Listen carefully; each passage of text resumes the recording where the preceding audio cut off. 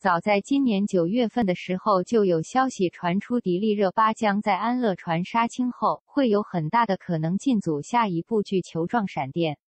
热巴出演《球状闪电》传闻已久。据说这个项目其实年初的时候就接触了，热巴方面也很大的意向，毕竟其也说过希望尝试更多不一样的角色，而这部国产科幻的题材的确很新颖。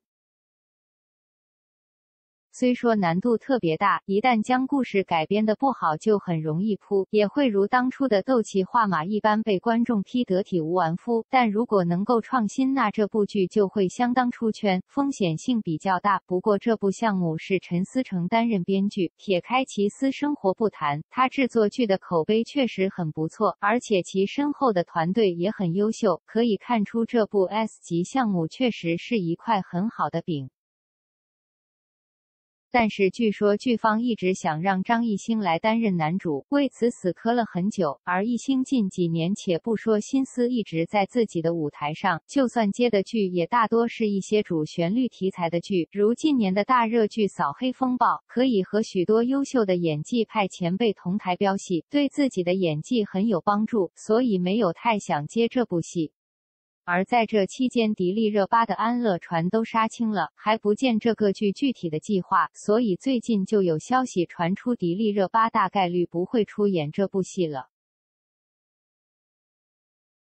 童瑶或进组担任女主。而据悉，前不久刚拿下视后的童瑶已经主动接触这部剧了。当然不是截胡了热巴的资源，因为两人不存在竞争的关系，而且到现在还没有计划，热巴的档期就已经排不开了。而且热巴最近也在接触一部大女主剧，和这部戏基本是无缘了。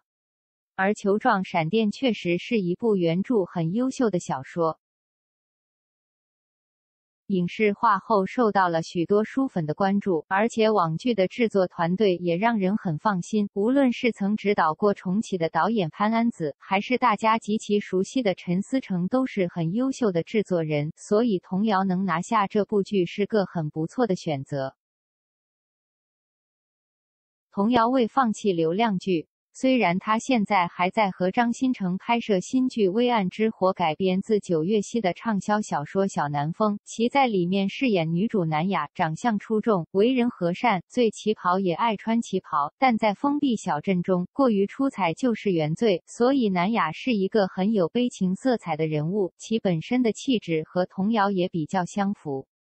该剧虽不是什么大制作，但题材很具有现实意义，而且男女主的口碑都挺不错，所以该剧还是挺受期待的。剧方为了给新剧宣传，还拍摄他们两人的主题杂志。可以看出，虽然童谣凭借《三十而已》中顾佳一角成功拿下了视后，但她并没有如其他得奖的演员一般一心想走实力派路线。从她接《微暗之火》搭档流量小生就可以看出，毕竟这年头流量确实比实力派更受关注，资源来的也更多。